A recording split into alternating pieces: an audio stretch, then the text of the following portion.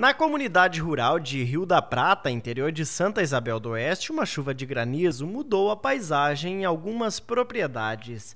Segundo relatos de agricultores, foram mais de 10 minutos de pedras acompanhadas de vento. Apesar do susto, não foram registrados danos nesta comunidade. O impacto maior foi registrado por um agricultor nessa lavoura que ficou branca. Eu não tinha visto ainda isso. Dê uma olhada, olha. Olha.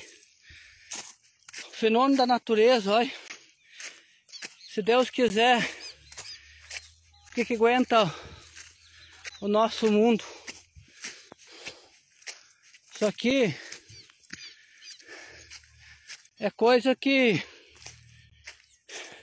Dê uma olhada. Olha. Eu tô aqui, parece que.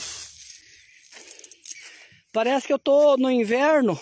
Mas na comunidade de Linha Gaúcha, interior de Realeza, as pedras causaram estragos no pavilhão e na igreja. O pavilhão teve a cobertura totalmente destruída. A igreja ficou com alguns vidros quebrados.